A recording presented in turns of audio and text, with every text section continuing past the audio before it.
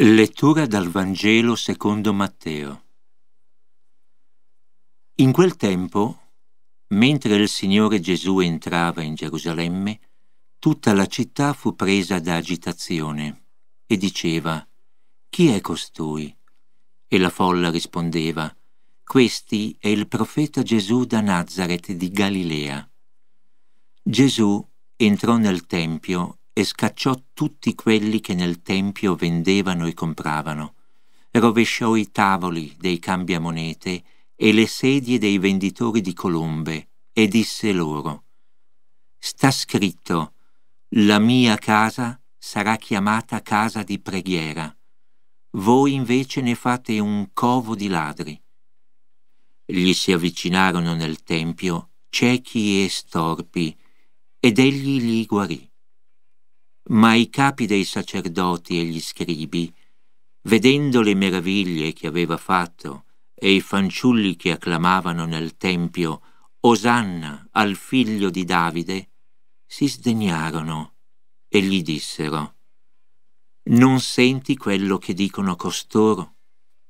Gesù rispose loro Sì, non avete mai letto dalla bocca di bambini e di lattanti hai tratto per te una lode? Pace bene amici e ben ritrovati a questo nostro appuntamento con la liturgia della parola.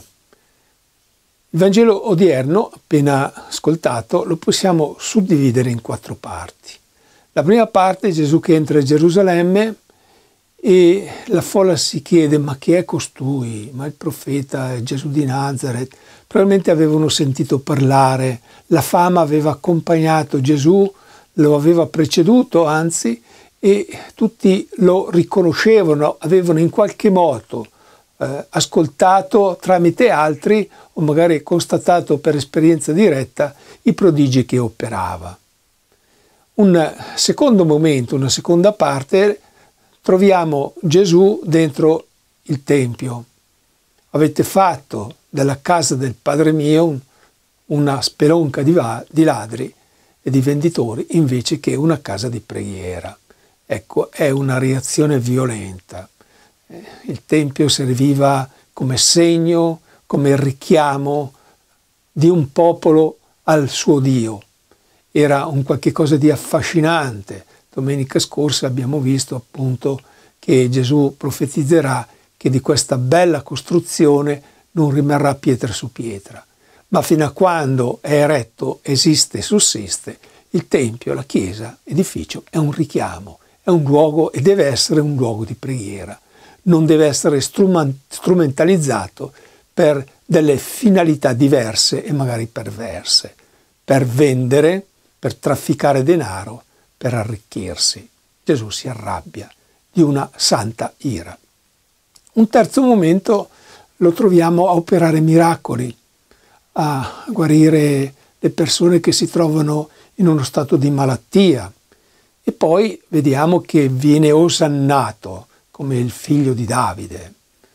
Di fronte a questa entrata solenne, questo modo di fare di procedere di Gesù Cristo, dentro la città santa, dentro il cuore della città santa, che è il Tempio di Gerusalemme, alcuni oppositori, farisei, dottori della legge, come sempre, gli si oppongono, di fronte soprattutto agli osanna che riceve e presentano a Gesù un appunto che può essere anche motivato, avere una sua giustificazione, ma non senti che cosa dicono, ma stanno dicendo una cosa assolutamente non vera, perché per loro non era assolutamente vero che Gesù, Cristo, che Gesù fosse il Cristo, il Messia. E Gesù che cosa risponde? E se non eh, urleranno e canteranno questi bimbi, la pietra o le pietre, i sassi parleranno per loro. E non avete ascoltato che la, dalla bocca dei bimbi e degli innocenti esce un inno di lode. Cioè è come se Gesù dicesse, ma persino i bambini, persino la povera gente non istruita, ignorante, che non conosce la legge, che secondo i vostri criteri non è degno della salvezza proprio perché non conosce la legge, costoro hanno capito chi sono, hanno intravisto più che capito, perché è difficile capire il personaggio Gesù di Nazareth, come si presentava allora e come si presenta oggi vivo, reale, ma nella fede. Ma persino coloro che voi ritenete non dentro la categoria dei salvati hanno intuito qualcosa e voi non capite niente. È un appunto che Gesù fa, ai suoi oppositori duemila anni fa ed è un appunto che noi dobbiamo accogliere perché magari anche per noi c'è stato un cammino di fede, lo abbiamo conosciuto, abbiamo letto tanti libri, siamo sempre andati in chiesa, abbiamo sempre partecipato al catechismo e magari insegnato catechismo e anche noi ci troviamo di fronte al Signore con dei dubbi, con delle perplessità, con delle incoerenze, con delle incredulità, con una incapacità radicale di non riuscire ad aderire alla sua persona, alla sua parola, alla sua chiamata. Allora il Vangelo di oggi dobbiamo leggerlo situato dentro una storia vissuta dal Signore duemila anni fa, ma il Vangelo di oggi dobbiamo calarlo dentro la nostra storia e chiederci ma chi è costui?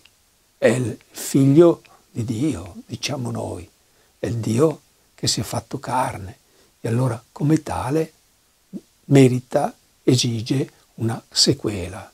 Chiediamoci se noi apparteniamo veramente ai seguaci di Gesù Cristo, se siamo autenticamente cristiani, se lo abbiamo accolto, accolto nella nostra vita e lo lodiamo nella semplicità della fede. Pace bene amici, a risentirci alla prossima domenica.